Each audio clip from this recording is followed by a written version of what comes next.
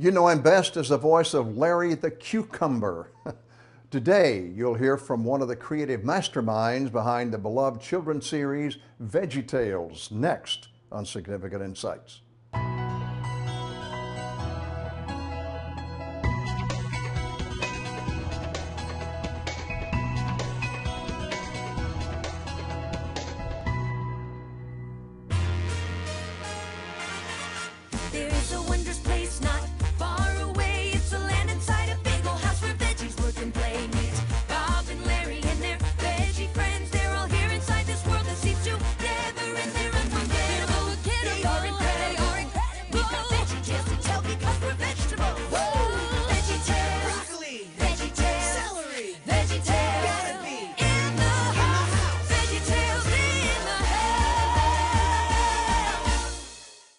Hello and welcome to the program. As usual, it's very good to have you with us.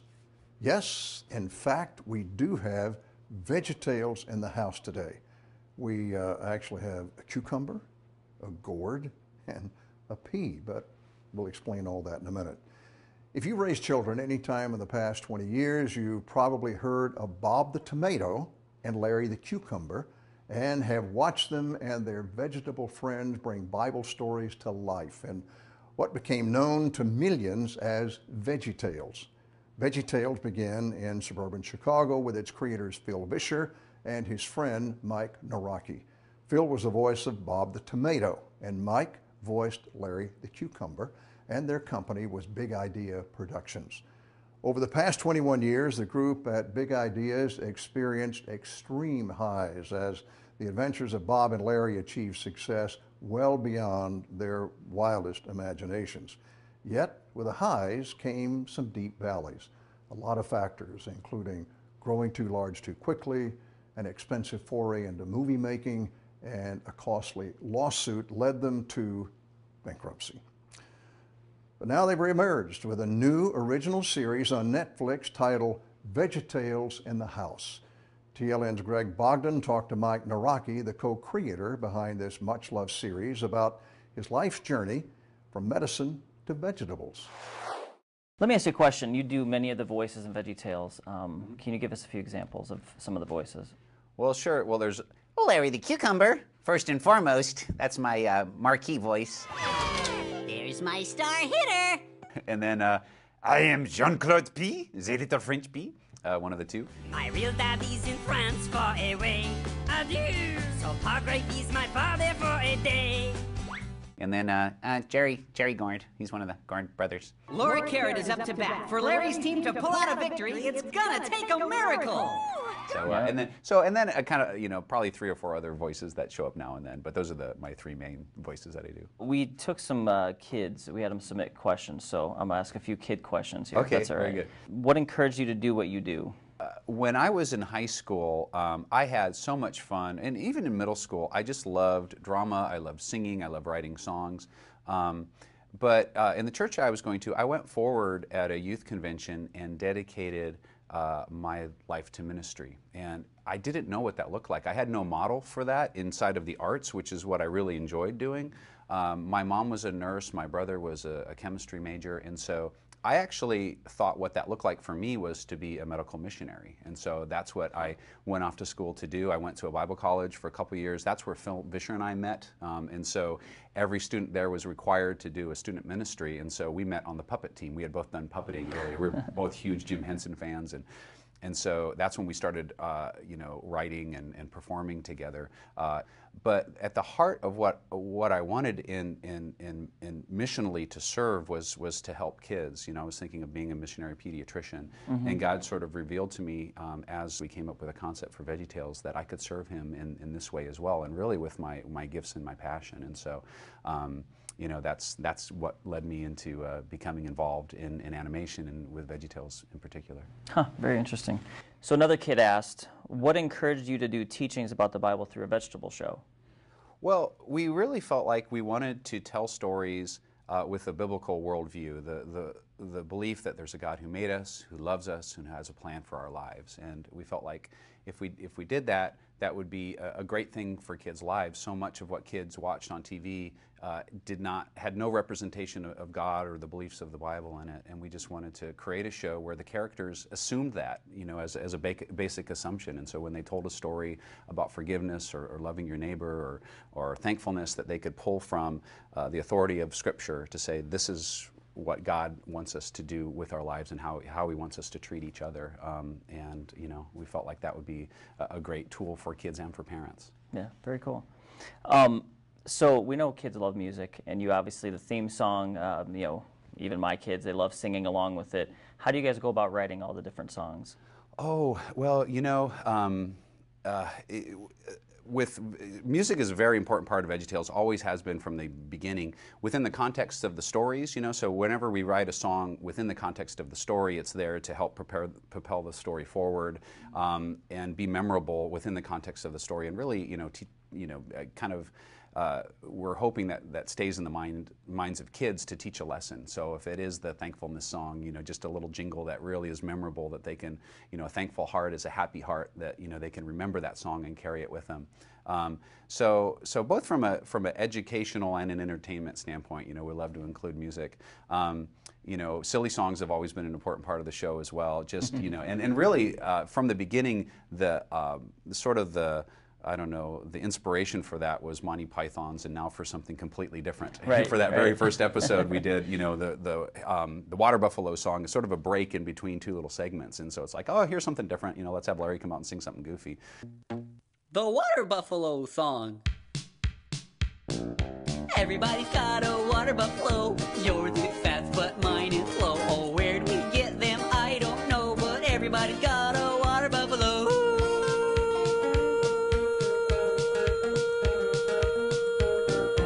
Took my buffalo to the store. Got his head stuck in the door. Spilled some lima beans on the floor. Oh, everybody's got a. Stop! Stop right this instant! What do you think you're doing? You can't say everyone's got a water buffalo and everyone does not have a water buffalo. We're going to get nasty letters saying, Where's my water buffalo? Why don't I have a water buffalo? And are you prepared to deal with that? I don't think so. Just stop being so silly! This has been Silly Songs with Laddie. Tune in next time to hear Laddie sing. Everybody's got a baby kangaroo. Yours is pink, but mine is blue. Hers was small, but Um, and it was interesting because on our second episode, we didn't include a silly song. We kind of just did it for fun on that first one. And then we started to get letters, you know, hey, where's the silly song? What happened to the silly song? So then since then, we've done a silly song with, it, with every episode. What's been the Christian response, both good and bad, to VeggieTales? Um, you know, I, I think we've gotten mostly good response over the years with VeggieTales. The the idea that yes, thank you, I can use this as a resource uh, for my kids for both passing on uh, values, biblical values to my child, but then also, you know, stories from the Bible, you know, that may be hard for kids to grasp. You know, the the main concept and the main meaning of. You know, we've tackled those with VeggieTales in a really fun and engaging way. Um, you know, as a way to say this is this is you know the, the main plot of the story. This is really kind of the main theme of this story. And of course, we have we have fun and we kind of you know kind of you know we, we don't we never veer off the the main uh, topic and the and the main lesson of that. But we we can you know just have a lot of fun all the way al- along the way. Kind of in a way, the, the assumption with us was that okay, it's Bob and Larry putting on sort of a Sunday school version, you know, of, of a Bible story. And that's sort of how we contextualize how we tell Bible stories. But then, um, you know, really the meat of the, the lesson in the story, uh, you know, comes through to kids and it makes those stories really memorable. Uh, so then later when they read the, the actual story in the Bible, you know, those things can come to life and they can remember that better. Some of the negative feedback, my kids won't eat vegetables anymore. Keep talking to them. yeah, keep talking to them. Although we do hear both of the sides of that. That they're, you know, that thank you for VeggieTales because now my kids do eat vegetables. So Right. some kids anthropomorphize and don't don't eat them, and some do. So You guys have had successes, major successes. You've had some failures. You know, how have you felt uh, God's presence with you through these past 20, 25 years? Well, you know, I guess mostly it, it feels like what I've seen God do with the show and how, you know, just feedback of what it's done in, in people's lives. I'm just really humbled by how, how, I don't know, just how many mistakes we've made over the years, but in spite of that, God, God has still seen um, I don't know, just just seen us through all of it. Um, you know, uh, you know, from the from the early years, just that that that that feeling of oh, we've got we really feel like we've got something that um, we can share with people that is going to be useful for their kids. Um, not really having no idea how to distribute it, how to do it, but just kind of doing it and letting it getting out there, and that, that surprise coming back of wow, this is really working. People are responding to this. Um, to then the business growing, and then the challenges that come with that, and everything that could have gone wrong, and uh, a lot of things going wrong. Um, you know, and then you know God bringing it back up again, and so I just I feel. Um, I don't know. I it just it, it, we weren't we weren't smart enough to to do what it did, you know. Uh, but it just it just humbled that God's been able to use us, use me to to you know to to make Veggie Tales and, and to to work in kids' lives. And so um, you know, it's I I feel after 21 years uh, of doing the show, um, you know, just really blessed and just hope hope that God can continue to use the show to reach kids' lives. Have you ever felt like giving up during those times, the difficult times? I mean, I remember, um, you know, in the bankruptcy in, in, in you know, or the early 2000s, uh, just being really, uh, it, I it was a really hard place. And, and I, uh, Twila Paris, I, I was in the car and a Twila Paris uh, song came on, and it just really spoke. God is in control was the, was the name of it. And it just, at that point, it just really sunk in that, yeah, you know, regardless of, of you know, everything that we think that we can do and, and all of our efforts and, you know, our successes and our failures, over all of that, God is in control and, and just to rest in that. And so um, that's what I'm hoping to continue to do. God knew what was happening and how Oh, he yeah. could transition that. Yeah, so. yeah, yeah, yeah. You know, just just you know, being along for the ride and, and just being willing to let God use us, and that's I think that's all. uh, You know, just whether it's for you know your your vocation or, or whatever, I think that's where we need to be as Christians, just as vessels that that God can use, and just being willing to do that. Yeah. More with Larry the Cucumber's alter ego, Mike Nawrocki, when we return.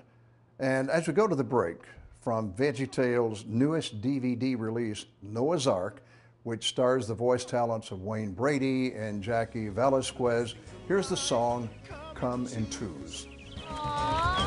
Like salt goes with pepper and carrots with peas. A sock with its mate, Macaroni and cheese, a cup and a saucer. or a pair of shoes. The best things in life come in twos. They come in twos. They come in twos. Look, two bunnies. You too. The best things in life Come in twos. adorable. It's cookies with milk and it's ham with eggs. Two birds of a feather, your arms and your legs. It's making we's out of me's and you's. The best things in life twos. They come in twos. They come in twos. Were those giraffes? Two emus. Two bison, crocodiles. Penguins? What's going on? Maybe they're putting in a zoo. The animals are all headed in the same direction. Yeah, to the orange grove. To the orange grove. Oh, I hope this isn't one of Dad's little projects.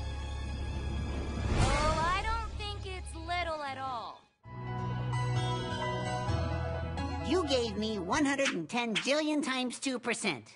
That's all I ever asked for. Yeah, I guess my dream kind of changed. After practicing with Junior, I realized how good it felt to work hard at something and get better at it. That's a dream come true for us all.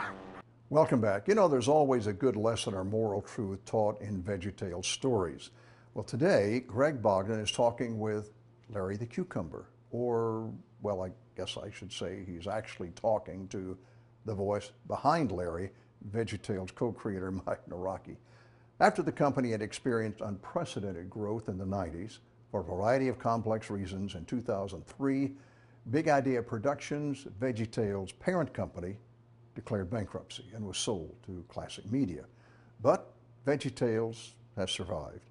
In addition to new DVD releases like Noah's Ark, a new revamped series has resulted called VeggieTales in the House, found exclusively on Netflix. So you went from VHS to DVD, and now there's a relationship with Netflix. How did that with- develop? with, with streaming?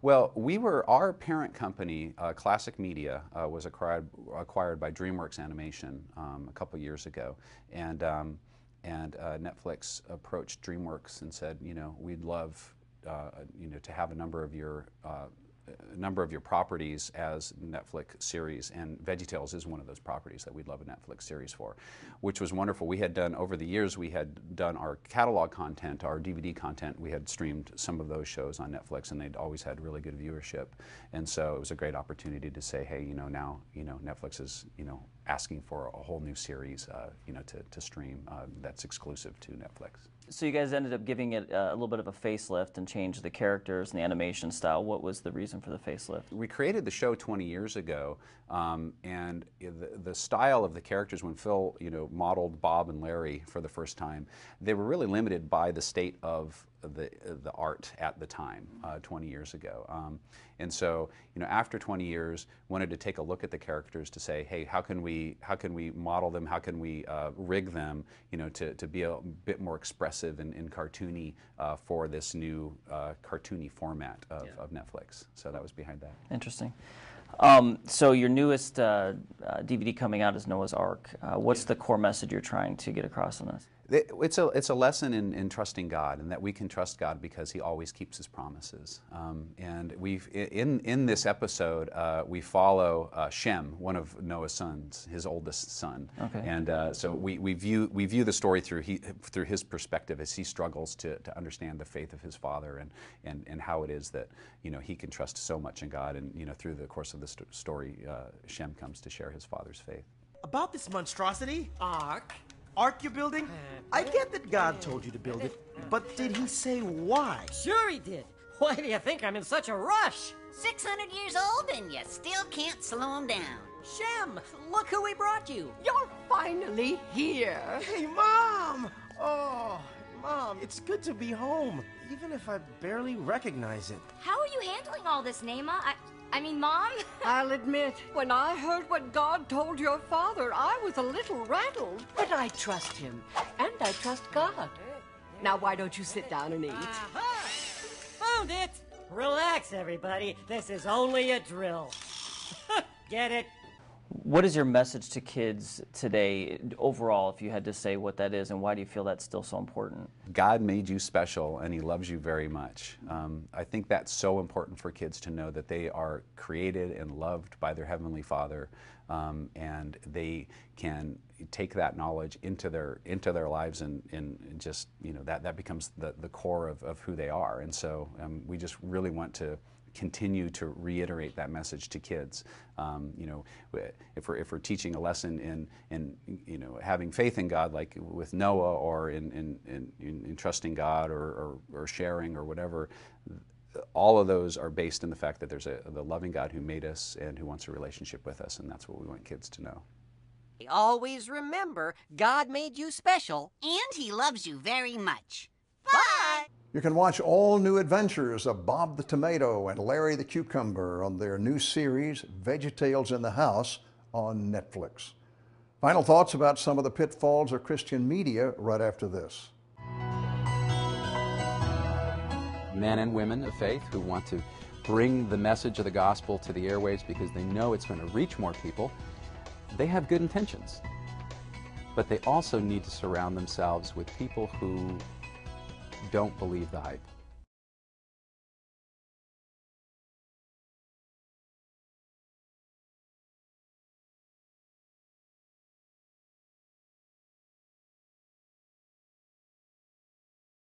Welcome back. You know, the goal of the creators behind VeggieTales was to bring Bible stories to children in an engaging and entertaining way. But VeggieTales was never meant to replace Bible reading itself. The stories Bob and Larry told were meant to supplement Bible study that was taking place at home and at the church.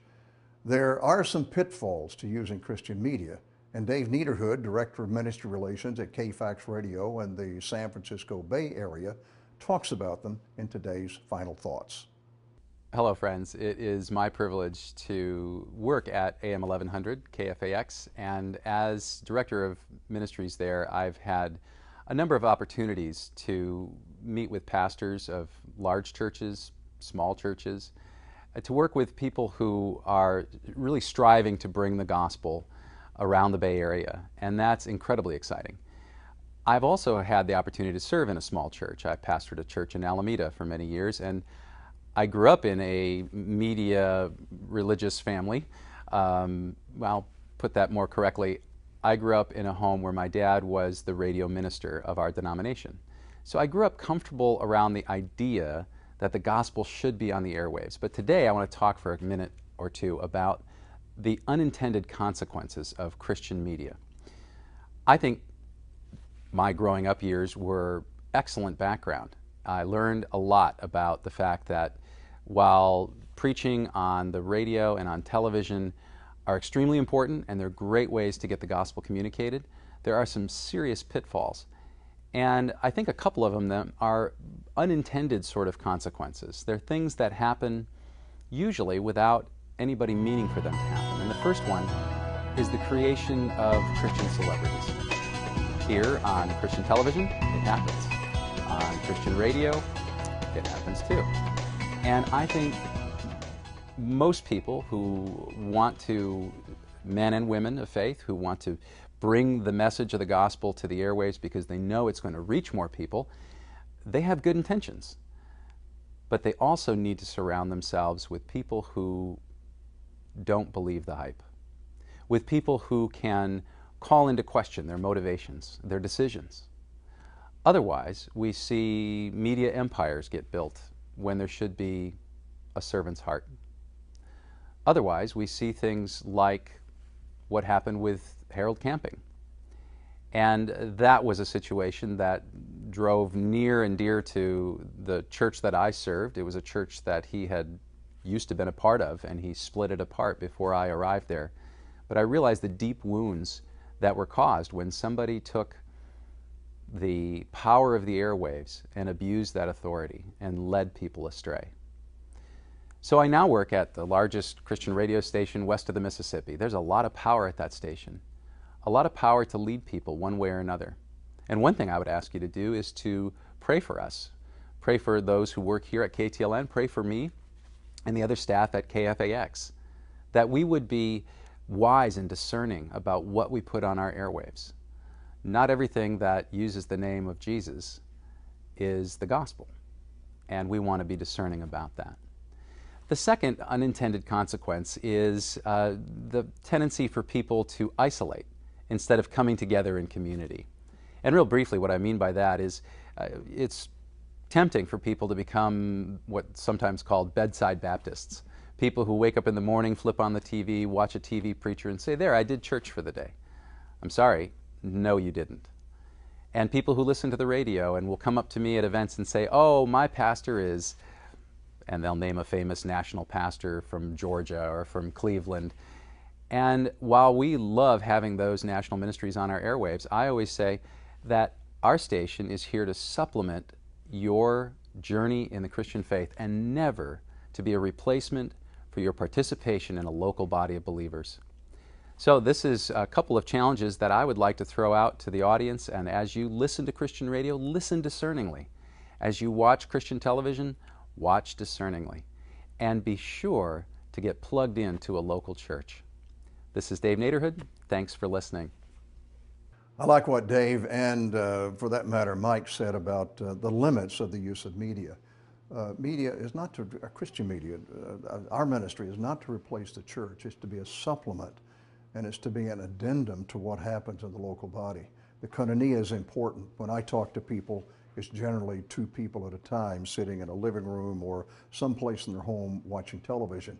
And it, it can be pretty impersonal. It's important to be a member of the body of Christ, to have a local church where you're together with the koinonia, the body of Christ, getting together, worshiping together, lifting your hearts and your praise together uh, to the Lord, and uh, in discipleship and, and spiritual development. That is absolutely important. We're not replacing the church. We're here as a part of the church to help to make sure the church grows. Thanks for joining us. God bless you. We'll see you next time on Significant Insights.